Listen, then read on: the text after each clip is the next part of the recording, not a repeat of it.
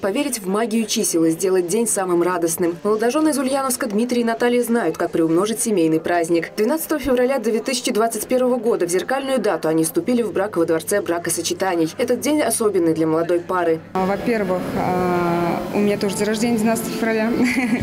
Также у нашей младшей дочки э, также 12 февраля.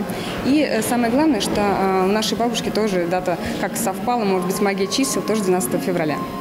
А Сейчас она проживает в Санкт-Петербурге, сама родом с Ульяновска. Наталья и Дмитрий познакомились в юности. Они с детства жили рядом и учились в одной школе. Наталья училась в классе у мамы Дмитрия. Жених признается, с первого дня знакомства он знал, что именно Наталья – его любовь и судьба. Молодожены не скрывали эмоций. Я очень рад этому событию.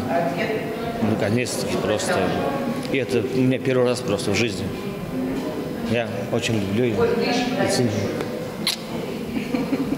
Наталья и Дмитрий позвали на свадьбу самых близких людей, родственников и лучших друзей. Бабушка Натальи, Тамара Николаевна Силачева, о которой говорилось ранее, отмечает сегодня столетний юбилей. Виктория Черкова, Юрий Ломатов. Новости Улправды ТВ.